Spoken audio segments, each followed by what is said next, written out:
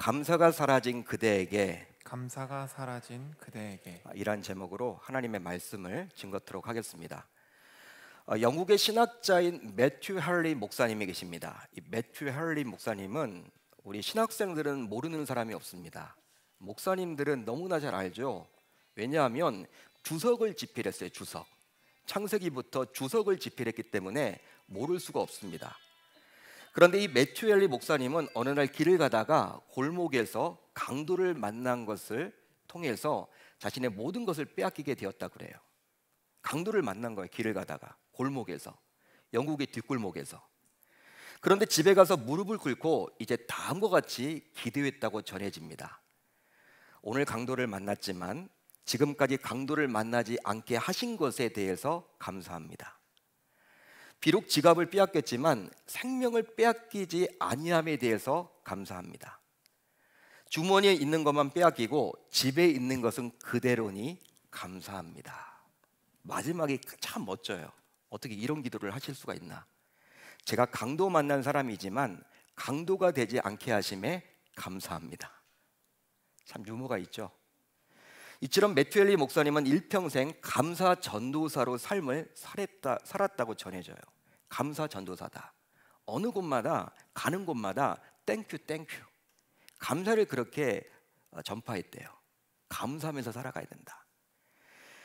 하지만 매튜 헨리 목사님처럼 저와 여러분들 또한 예수님을 믿잖아요. 그럼에도 불구하고 이분처럼 살지 못하고 우리는 감사하지 못하고 불평과 불만을 일삼을 때가 참 많은 것 같습니다. 따라서 신자가 하는 감사를 보면 신자의 신앙 수준을 알 수 있다라는 어떤 목사님의 말씀은 몹시 일리가 있다라고 볼 수 있겠죠. 그렇습니다. 신자지만 우리 역시 세상 사람들처럼 어떤 조건이 충족될 때 보통 감사할 수 있다라고 여기곤 해요. 그렇지만 하나님께서 신자인 저와 여러분들에게 요구하는 감사는 그 정도의 감사가 아닙니다. 그런 감사가 아니라 즉 조건이 충족되었게 하는 감사 정도가 아니라 설령 조건이 충족되지 못했다 하더라도 범사에 감사하라는 거예요. 마치 매추엘리 목사님처럼 말이죠. 강도를 만났음에도 불구하고 감사했던 그분처럼 저와 여러분들도 그렇게 살기를 우리 주님이 기대하십니다. 자, 그래서였을까요? 하나님께서는 바울 사도를 통해서 신자인 저와 여러분들에게 이제 다음과 같이 말씀해 주고 있죠. 범사에 감사하라.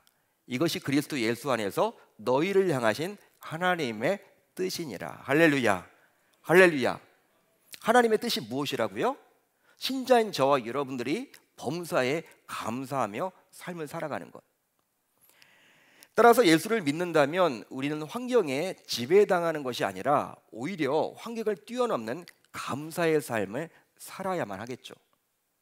하지만 안타깝게도 설령 그리 감사하며 살지 못했더라도 이제 포기하지 마십시오. 어려워하지 마십시오. 이제부터 시작하시면 됩니다. 이제 오늘 살펴볼 다니엘을 통해서 우리 모두 그간 감사하며 살지 못했더라도 다시금 어떤 형편 속에서도 감사하며 살겠다라고 다짐하고 결단하는 저와 여러분들이 다 되셨으면 좋겠습니다. 본래 다니엘은 남유다의 귀족 출신의 소년이었어요. 집안이 좋았습니다. 귀족이었습니다. 그런데 에미난 사춘기 시기에 바벨론에 의해서 포로로 끌려와서 바벨론에서 살아야만 했죠. 심지어 이름까지 바뀌어졌어요. 바벨론으로 이름까지 바뀌어졌습니다. 한마디로 창씨 개명을 당한 거예요. 예? 일제 시대 때 우리나라 이름을 부르지 못하고 일본식으로 바꿔 부르도록 했듯이 바벨론 제국은 이 다니엘의 이름을 하나님과 관련된 그 이름들을 바벨론식으로 다 바꿔서 불렀습니다. 여러분 그 정도였기 때문에 완전히 하나님을 떠나서 이제 다니엘은 이방 종교와 문화에 노출된 채 삶을 살아야만 했던 거예요. 보통의 경우 그런 어려움을 만나게 되면 아무리 신자라 하더라도요 하나님을 원망할 수밖에 없겠죠. 여러분 왜 그러지 않겠습니까? 하나님 너무하신 것 아닙니까? 저는 그래도 주일 추석을 하려고 몸부림치고 있고 교회를 섬기려고 이렇게 열심히 하고 있는데 아니 세상 불신자들이 어려움을 당하는 것, 고난을 당하는 것은 내가 이해를 하지만 어떻게 나에게 이런 고난이 닥칠 수가 있습니까? 너무하신 것 아닙니까, 하나님?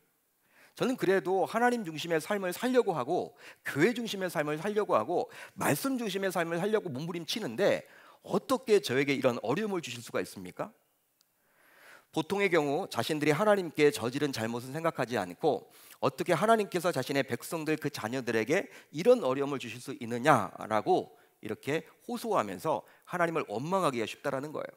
신자들이. 하지만 정말 놀랍게도 오늘 말씀을 쭉 읽어보면요. 다니엘은 그런 어려운 형편 속에서도 결코 하나님을 원망하지 않습니다. 불평하지 않습니다. 오히려 하나님을 신뢰하며 철저히 하나님을 의지하고 하나님께 매달렸어요. 결국 그래서였는지 다니엘은 제국이 바뀌는 형편 속에서도 새로운 제국의 중앙 총리가 되어서 왕의 신임 속에서 그 제국을 다스리게 되었습니다. 본래 다니엘이 이 청소년기에 바벨론에 의해서 포로로 끌려가는데 세월이 흘러가지고 이 바벨론 제국이 망하게 된 거예요. 바로 메데 바사 제국에 의해서 망해가게 되었습니다. 여러분 바벨론 제국 내에서 높은 위치 고위직을 했다면 이제 다니엘은 생명이 끝난 거예요. 왜 새로운 제국이 되었고 새로운 왕조가 시작되었기 때문에 생각을 해보세요. 여러분 정권만 바뀌어도 여러분 한 국가 내에서 정권만 바뀌어도 이전에 여러분 있던 분들은 다 이제 옷을 벗어야 되는데 고위직들은 장차관들은 다니엘이 여러분 바벨론 제국에서 높은 위치에 있었거든요. 근데 여러분 메데 바사 제국이 되었음에도 불구하고 여러분 하나님의 은혜 가운데 높은 위치에 있었다라는 거예요. 자, 그 내용이 바로 3절의 기록이 이렇게 되어 있죠. 다니엘은 마음이 민첩하여 총리들과 고관들 위에 뛰어남으로 왕이 그를 세워 전국을 다스리게 하고자 한지라. 메데 바사 제국이 얼마나 컸던지 총리를 무려 세 명이나 세웠는데 그 가운데서도 유독 이 다니엘을 왕이 신임했던 거예요. 하지만 메데바사 제국의 총리가 되었지만 다니엘은 이제 인생 최대의 위기를 맞게 되었습니다. 바로 이런 다니엘을 시기하고 질투했던 정적들이 그에게 올가미를 씌웠기 때문이에요. 올가미. 여러분들도 직장 생활을 이렇게 하다 보면 여러분 처음에는 사이가 좋았다가도 여러분 높은 위치는 한정된 그러한 위치잖아요. 여러분 임원으로 올라가면요, 뭐 자리가 여러분 이렇게 한정되어 있잖아요. 다 올라갈 수가 없잖아요. 신입 사원들이. 신입사원으로 여러분 갔다가 다 여러분 임원 되는 건 아니잖아요. 점점 점점 갈수록 문이 좁아지다 보니까 경쟁이 되는 거예요. 경쟁이 끌어내려야지만 내가 올라가는 거야. 적자 생존이죠. 약육강식이죠. 당시 여러분 그랬다라는 거예요. 다른 사람들이 얼마나 여러분 헐뜯는지 몰라. 이 다니엘을 깎아내리려고 불만이 있는 거죠. 어떻게 왕의 시림을 받아가지고 어떻게 그 나라의 이인자가 될 수 있느냐? 우린 뭐냐? 어, 이방 민족이 어떻게 이인자가 될 수 있느냐? 여러분 어, 털어서 먼지 안 날 사람이 없죠? 중먼지를 털었는데 먼지나, 먼지가 다 나죠. 사람은 누구나 약점이 있잖아, 연약함이 있잖아. 근데 다니엘은요, 이 총리를 하면서 중앙 총리를 하면서 재정이 여러분 투명했어. 여러분 뇌물을 받아먹지도 않고 여러분 재정적으로 탁월했어. 깨끗해. 정말 투명 그 자체야. 털어서 먼지가 안 나는 사람이 유일하게 이 다니엘이었어. 그뿐 아니라 인사도 여러분 얼마나 공정하게 했는지 몰라요. 그러니까 인사권과 재정권을 여러분 그렇게 탁월하게 하다 보니까 여러분 어떻게 간괴를 꾸려서 이게 끌어내리려고 해도 틈이 보이지 않는 거예요. 그래서 결국 어떻게 합니까? 이 단일의 약점이 뭐냐라고 살펴봤더니 이제 신앙적인 부분이야, 신앙적인 부분. 그래서 신앙적인 부분을 건드리기 시작합니다. 그리에게 여러분 이제 그들은 당시 다리오 왕에게 찾아가서 30일 동안 왕 이외의 다른 어떤 신이나 혹은 사람에게 구하지 못하도록 했으며 만약 누구든지 이 누를 어길 경우 사자굴에 던져 넣자고 왕에게 금령을 요구해서 결국 왕은 자신의 제국 내 금령을 선포하기에 이르렀습니다. 왕 입장에서는 좋겠죠. 자기 자신만을 30일 동안 위한다는데 여러분 어떤 왕이 반대하겠습니까? 자기 일을 여러분 신격고 한다는데 다른 사람에겐 기도하지 못하게 한다라는 거예요. 그게 사람이든지 그게 신이든지 오직 자기 자신에게만 30일 동안 절하도록 하고 여러분 섬기도록 하겠다고 하니 어떤 왕이 그것을 싫다 하겠습니까? 그런데 그 고위직들이요 이 다니엘을 여러분 얼마나 괴롭히려고 했냐면 그렇게 말만 한 것이 아니라 이 규례를 왕조차도 함부로 고치지 못하도록 하기 위해서 그들은 이 금령에 왕의 도장까지 찍도록 요구를 해요. 여러분 구두로 하는 것은요 왕이 번복할 수 있잖아요. 금령을 세웠다가도 이제 여러분 다니엘을 신뢰하니까 예를 들어 여러분 다니엘이 딱 거기에 걸려들었다 그러면요 내가 좀 구해줄 수가 있잖아요. 그걸 못하도록 하기 위해서 어떻게 했습니까? 그 금령 안에 왕의 직인을 딱 찍도록 한 거예요. 이제는 왕도 어떻게 할 수가 없어. 30일은 버텨야 돼. 30일 동안은요 아무리 왕의 아들이라 하더라도 그 법을 어기면 그 누를 어기게 되면 사자굴에 들어갈 수밖에 없는 거예요.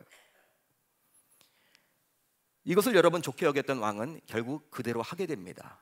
그래서 그 규례에 왕의 금령에 이제 어떻게 했습니까? 도장을 딱 찍어서 전국에 이렇게 딱 방을 붙였죠. 결국 자신에게 올가미를 씌우려던 정적들의 수작을 모르지 않았던 다니엘은 다음과 같이 행동하기에 이르렀는데요. 자 오늘 말씀 10절을 볼까요? 놀라운 일이 벌어집니다. 어떻게 다니엘이 그럴 수 있을까? 우리 한번 같이 읽어 봅니다. 시작.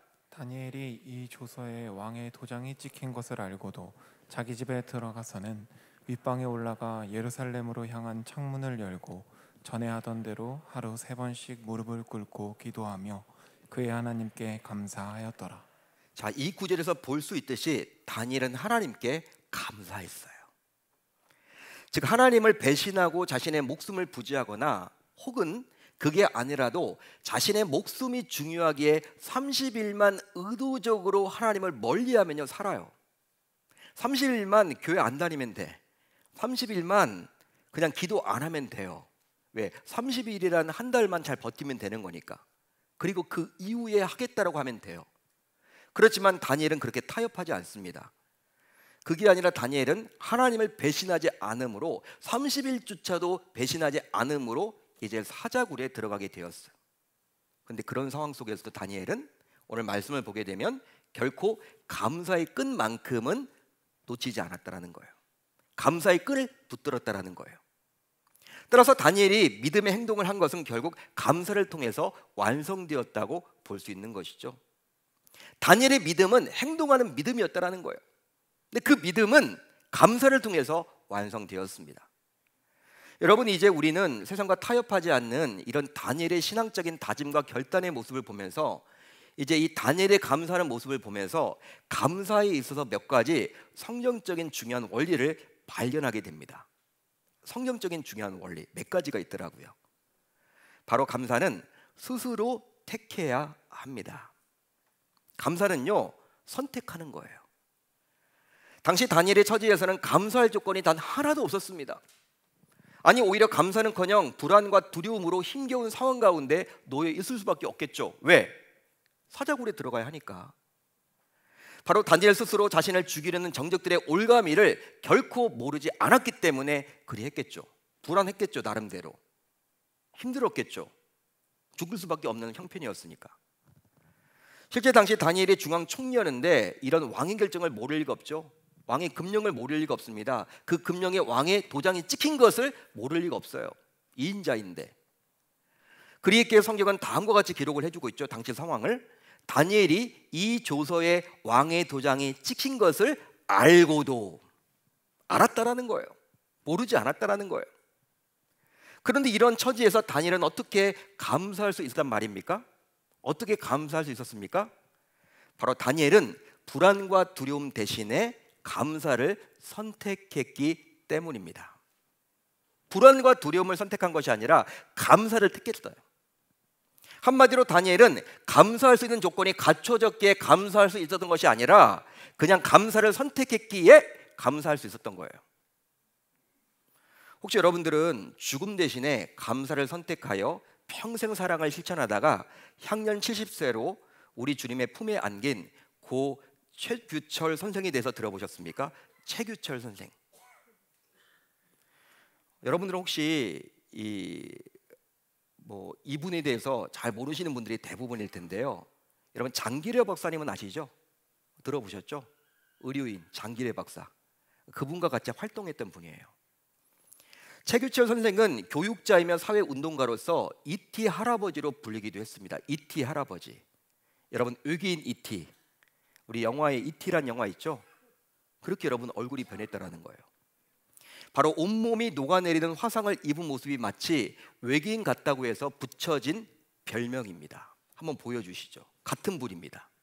화상을 당하기 전에는 잘생겼는데 화상을 당했더니 이 모습으로 변한 거예요. 그러니까 사람들은 이티 할아버지다.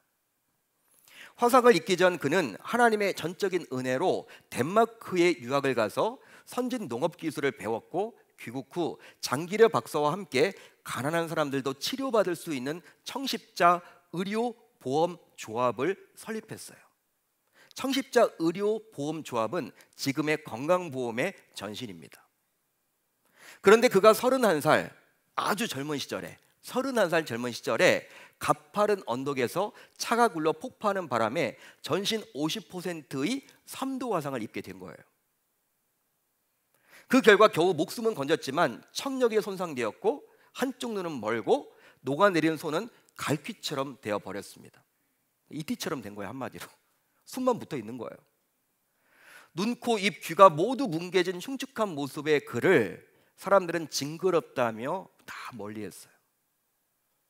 뭐 그때는 뭐 성형 수술이 지금처럼 발달하지도 않았겠죠. 서른 번에 걸친 고통스러운 수술, 서른 번에 걸친 고통스러운 수술. 수술 가운데 이 화상 수술이 제일 통증이 심하대요. 아무나 아무것도 아니래요. 이 화상이 여러분 진짜 무서운 거예요. 서른 번에 걸친 고통스러운 수술. 2년간 자신을 간호하다가 몸이 쇠약해져 결국 세상을 떠난 아내, 젊은 아내, 병간호다가 죽은 거예요. 끝없는 절망의 연속이었겠죠. 이런 상황 속에서 그는 하나님이 원망스러워 죽고 싶은 생각도 가지게 되었습니다. 왜 그러지 않겠습니까? 바로 이번 사고도 어느 고아원을 칠해주려고 준비한 페인트와 신호통을 가득 실린 차를 자신이 몰고 이렇게 가다가 이렇게 차가 굴러가지고 그런 화상이 일어난 거예요. 페인트를 여러분 이렇게 싣고 가다가 신호통을 싣고 가다가 하나님의 사랑을 이렇게 전달하고자 전해주고자 그렇게 하다가 그렇게 된 거예요. 하나님 일 하다가 그렇게 한 거죠. 하지만 그는 하나님의 뜻이 있을 것이라고 믿고 죽음 대신에 감사를 선택했습니다. 원망 대신에 감사를 선택했어요. 즉 이런 모습으로 나를 살리신 하나님의 분명한 뜻이 있을 것이다. 이렇게 살려주신 것도 하나님의 은혜다. 앞으로도 아멘으로 순종하고 무조건 감사하자. 어떤 형편에서도 감사하자. 감사를 선택한 거예요. 이렇게 감사를 선택하기로 하자 놀라운 일이 벌어졌는데 그의 삶은 180도 변하게 되었고 모든 것에 감사할 수 있게 되었다고 합니다. 이제 선생님은요 이런 감사까지 하게 되었어. 놀랍습니다. 하나님 비록 귀는 다 타버렸지만 그래도 조금이나마 들을 수가 있고 오히려 한겨울 추운 날에도 귀가 시리지 않게 하심에 감사합니다. 여러분 어떻게 이런 감사를 할 수 있을까? 여러분 같으면 하실 수 있겠습니까? 또 피구름 나던 머리에서 새 머리카락이 나오게 하심에 감사를 합니다. 귀도 없는 일그러진 얼굴을 머리카락이 조금이나마 가려주니 감사합니다. 또 한쪽 눈은 실명했지만 남은 한 눈으로 세상을 바라보게 하시니 감사합니다. 또 입술은 없어졌지만 하나님의 사랑과 진리를 전할 수 있고 하나님을 찬양할 수 있음에 감사합니다. 이처럼 감사를 선택했던 선생은 일평생 이웃들을 향한 사랑을요 끊이지 않게 했다라는 거예요. 사랑을 포기하지 않았다라는 거예요. 계속 사랑 전도사가 되었다라는 거예요. 감사 전도사가 되었다라는 거예요. 청십자 조합일을 계속했고요. 간질 환자들을 복지를 위한 간질 환자들의 복지를 위한 장미회를 설립했으며 사랑의 장기 기증 운동 본부 이분이 설립했습니다. 여러분 들어보셨죠? 사랑의 장기 기증 본부 이분이 설립하신 거예요. 그뿐 아니라 매년 자원봉사자 100명을 데리고 소록도로 가서 문세, 문둥병, 즉 한센스병 환자들을 목욕시키고 빨래도 해주고 또 말동무가 되어 주었대요. 또한 수많은 강연과 간증을 통해 감사를 전파함으로 절망에 처한 이들에게 사랑과 소망을 전하는 감사 전도라로서 삶을 살다가 70세의 나이에 생을 마감하게 되었습니다. 여러분 곧 최규철 선생은 다니엘처럼 감사를 선택했던 거예요. 그리 있기에 어떤 형편 가운데서도 결국 그는 감사할 수가 있었습니다. 따라서 저와 여러분들도 이제 다니엘과 고 최규철 선생처럼 어떤 조건이 충족되어서 감사하는 것이 아니라 우선 감사할 조건이 전혀 보이지 않더라도 감사를 선택함으로 감사할 수 있어야 할 줄로 믿습니다. 믿습니다. 해보는 거예요, 여러분. 감사를 택하십시오. 원망을 택하지 마세요. 다음으로 감사는 끊임없이 배워야 합니다. 실제로 사람은 누구나 선천적으로 범사에 감사할 수는 없어요. 왜 그렇습니까? 다 태어날 때보다 저와 여러분들은 아담의 후손이기 때문에 죄를 가지고 태어나기 때문에 범사에 감사할 수 없습니다. 태어날 때부터. 따라서 신자 역시 태어날 때부터 어떤 상황에서도 감사할 수는 없어요. 자, 그렇다면 이런 우리의 처지를 모를 리가 없는 하나님께서는 어떻게 바울을 통해서 저와 여러분들에게 범사에 감사하라고 말을 해 줍니까? 하나님 너무하는 거 아닙니까? 여러분 범사에 감사하라. 여러분 이게 불가능한 것을 하나님이 지금 요구하는 것일까요? 저와 여러분들에게? 그건 아니죠. 불가능하다면 하나님이 우리들에게 그렇게 말하지도 않았을 거예요. 물론 범사에 감사하며 살아가는 것이 어렵기는 합니다. 쉬운 일이 아니죠, 여러분. 그렇지만 아예 불가능하다고 볼 수는 없기 때문에 하나님은 이 시간에도 저와 여러분들에게 요구하시는 거예요. 자, 그러면 우리는 어떻게 범사에 감사할 수 있게 될까요? 바로 끊임없이 감사를 훈련함으로 어떤 환경 속에서도 감사할 수 있게 되는 것입니다. 실제로 다윗과 바울 사도 역시 처음부터 감사하는 삶을 살지 못했어요. 그렇지만 우리와 성정이 같은 사람이었기 때문에 그리했지만 끊임없는 연단과 훈련을 통해서 어느 순간 그들은 범사에 감사할 수 있게 되었다라는 사실이에요. 시편 18편 혹시 여러분들 읽어 보셨나요? 시편 18편. 다윗의 시인데요. 바로 하나님께서 다윗을 그 모든 원수들의 손에서와 사울의 손에서 건져 주신 날에 다윗이 하나님을 찬양했던 시가 바로 시편 18편입니다. 그런데 이 시를 꼼꼼히 살펴보면 무려 50절 가운데 49절에 가서야 다윗이 감사를 합니다. 그 전까지는요 하나님께 감사 이야기를 안 해요. 이 49절의 감사가 나오기까지 실제 다윗은 얼마나 많은 연단과 훈련의 과정을 거쳤는지 몰라요. 다윗도 그리했습니다. 처음부터 여러분 감사를 타고난 사람이 아니었다라는 거예요. 실제로 1절부터 48절까지를 보게 되면 18편 1절부터 48절까지를 보게 되면 다윗은 하나님을 바라보았다가도 원수를 보고 마음이 무너져요. 하나님을 바라볼 때는 내가 이겨낼 수 있을 텐데 딱 원수를 바라보는 순간 낙심이 오는 거예요. 여러분 그런 경우들이 있죠.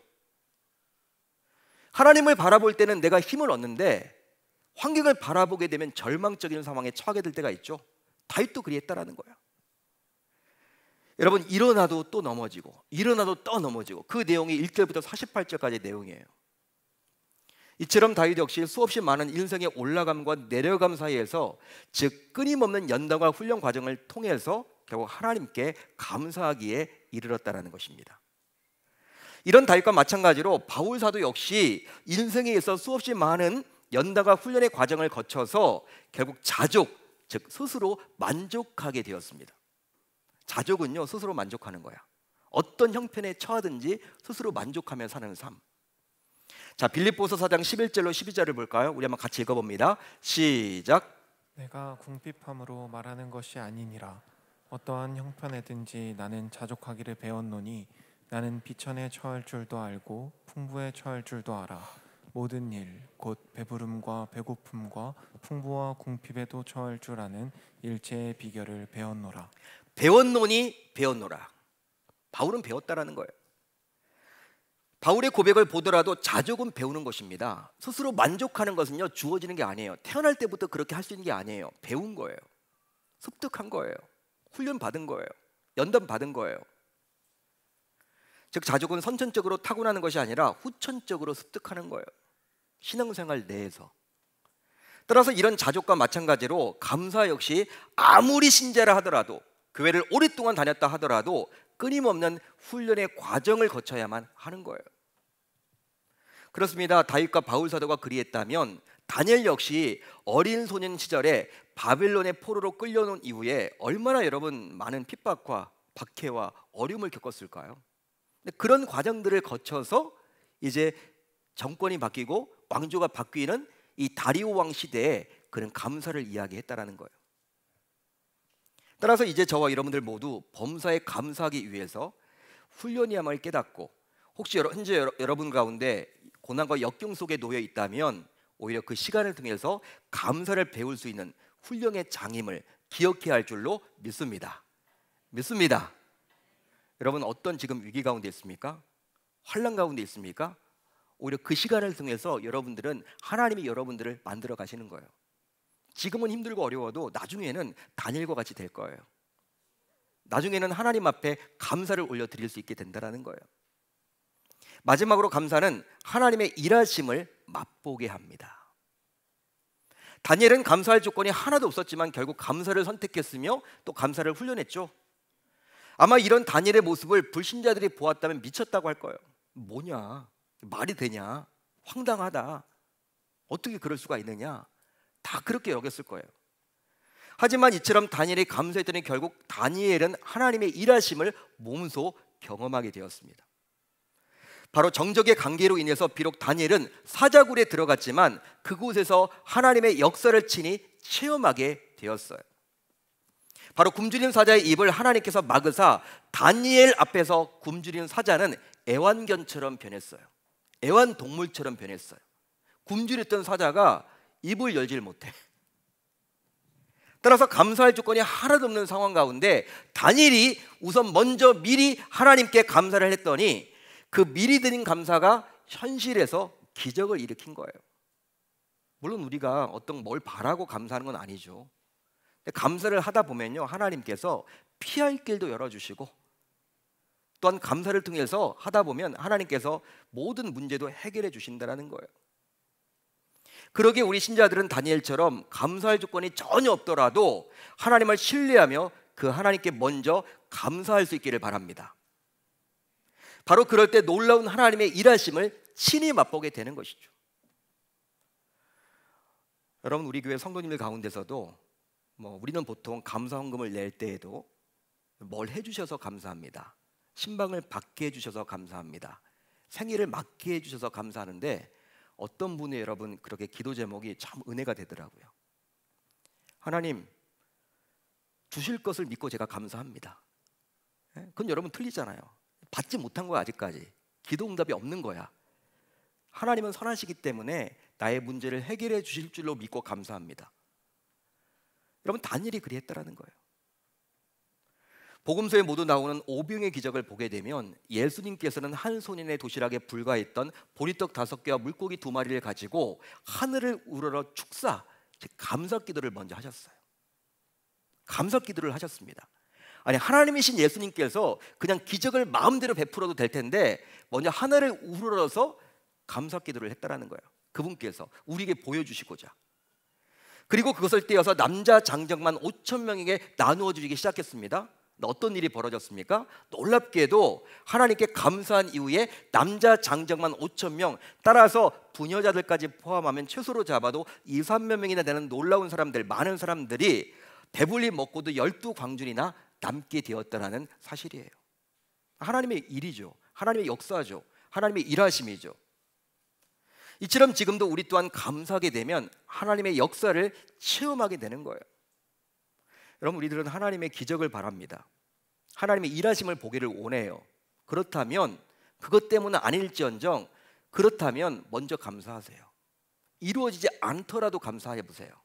지금 상황은 감사할 조건이 전혀 없어도 불평 불만 대신에 다니엘처럼 감사를 먼저 해보세요.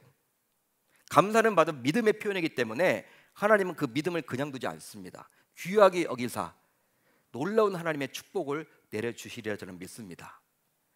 따라서 이제 우리도 다니엘처럼 하나님께 우선 감사함으로 언제나 하나님의 일하심을 체험할 수 있어야 할 줄로 믿습니다. 믿습니다. 이제 말씀을 정리하겠습니다. 요즘 우리는 어디를 가든지 감사보다도 원망이 많은 시대, 불평과 불만이 많은 시대를 살아가고 있어요. 사람들의 얼굴이요, 이 코로나 이후로 달라졌어요. 다 마스크로 가리고는 있지만 기쁨이 없어. 신자들도 마찬가지입니다. 어딜 가든지 간에 엘리베이터에 타도 다 찌푸리고 있고 얼굴을 어느 상점에 들어가도 다 찌푸리고 있고 밝은 얼굴을 요즘 볼 수가 없어. 왜? 시대가 그렇잖아요. 힘들잖아, 어렵잖아. 막막하잖아, 여러분. 그런 상황 아닙니까? 하지만 지금도 하나님께서는 자신의 자녀들이 감사하기를 기대하세요. 그게 하나님의 마음이에요. 그것도 세상과 차원이 다른 범사에 감사하기를 원하시죠. 바로 감사가 곧 믿음을 가졌다는 증거가 되기 때문입니다. 혹시 여러분들의 믿음 점검하기를 원한다면 내가 요즘에 감사를 하고 있는지 아니면 감사보다도 불평과 불만이 더 많은지 확인해 보시면 금방 답이 나와요. 여러분 감사가 있다면요 하나님과의 관계가 원만한 거예요. 잘하고 계시는 겁니다. 그런데 감사보다는 어느 순간 불평과 불만, 원망이 많다면 시비가 많다면 지금 나, 내 믿음, 하나님과의 관계에 적신호가 켜져 있음을 우리는 깨달아야만 하겠죠. 이제 점검 결과 감사가 사라졌다면 오늘 말씀에서 살펴본 다니엘과 같이 앞으로 범사에 감사하고자 감사를 선택하고 감사를 잘 훈련해서 그 결과 하나님의 일하심을 삶 속에서 맛보아야 할 줄 우리 주님의 이름으로 축원합니다. 축원합니다. 감사는요 우리가 여러분 택하는 거예요. 주어지지 않습니다. 어떤 상황 속에서도 감사하려고 몸부림쳐 보세요. 어떤 상황 속에서도 끊임없이 감사를 배워 보십시오. 그렇게 하다 보면 하나님께서 그런 인생을 가만둘 리가 없죠. 왜 마음에 합한 자인데 반드시 저는 하나님께서 형통의 길로 인도해 주시리라 저는 믿어요. 그게 바로 하나님의 원리입니다. 오늘 세 가지를 꼭 기억하셔서 이 감사가 사라진 그대에게 여러분 이런 감사를 전할 수 있는 저와 여러분들이 다 되실 수 있기를 바랍니다.